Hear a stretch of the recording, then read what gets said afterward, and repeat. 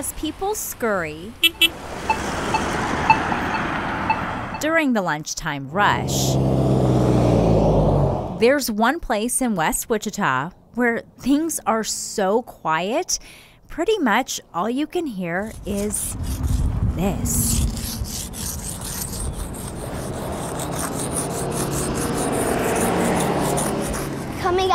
To just like draw some pictures. This is something special because uh, we don't usually get time off because we have school and after school sports. So this is just something fun to do for the day. So, as Madison, Shaylin, and Grayson are out of school, they hope as cars zip by this busy street, maybe people will take their time and slow down.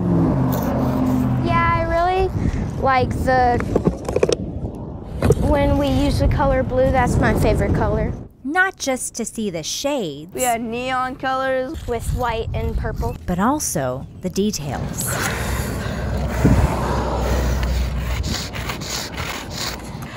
tiny pieces of the chalk and we just blow those away. Also, the heart of what they have to say. Why do you like drawing with chalk? Because um, you can just do so many different things with it.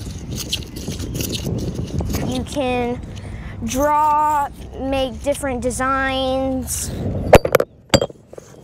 Here, on the biggest canvas they could find, three kids with one message. Live, laugh, Love. live, laugh, love. And we drew a smiley sign over there. And we just wanted to make more people like happy. It might just cheer them up just a little bit. Some people don't have like a lot of good days. So we just came out here to do it because there's a lot of cars that can see it. I think this was pretty good for them. Yet good for Grayson and his little sisters, too. Making memories and maybe a difference. It makes me feel good that we're giving them like some happiness in their day. Everybody in the world deserves to be happy and have a good day and have a smile on their face. In Wichita, Annette Lawless, KAKE News on your side.